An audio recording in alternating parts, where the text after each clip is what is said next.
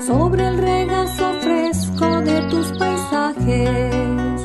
Caminando ya viene el anochecer, murmullos de la selva o el grito de sus pueblos que con mirada oculta tras esos montes la ven padecer. Ay, grita ya la tierra, muere su verdor. Ay, es la selva herida, siente su dolor. Ay, grita ya la tierra, ay, muere su verdor.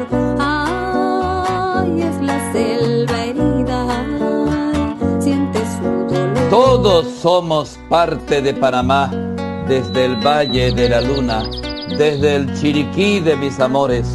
Somos hijos de este país. Tú y yo somos Panamá.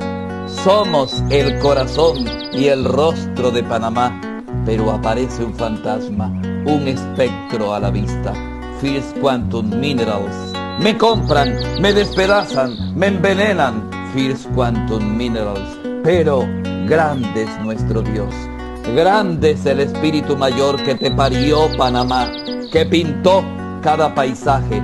Tu mirada es más fuerte que la mirada maligna y perversa de los vendepatria que con sigilo y malicia te otean y te escudriñan con interés mezquino de la mano de First Quantum Minerals. La mirada de Dios se posaba en la creación entera y estaba Panamá, toda llena de árboles, de semillas, de flores y de frutos, de esta casa grande que es Panamá.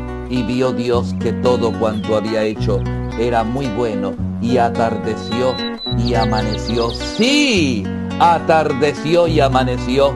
Amaneció y atardece con contratos de tragedia.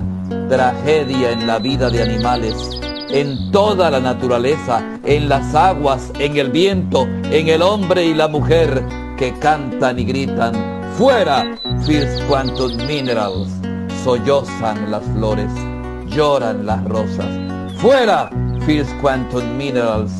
Sollozan los nidos que ya se han ido. Y el árbol de la selva. Fuera, First Quantum Minerals. Fuera, fuera. Panamá no se ha vendido mientras haya originarios noves, organizaciones sindicales, docentes, médicos, abogados, enfermeras y todos, cristianos de todas las denominaciones, con corazón y rostro de Panamá. El descaro de los vendepatria, de los que tienen corazón de metal y de veneno, a cielo abierto, les decimos, nuestro cielo abierto no será de ustedes, aunque tengamos que morir. Fuera vendepatria, fuera corruptos, fuera First Quantum Minerals, no a la minería.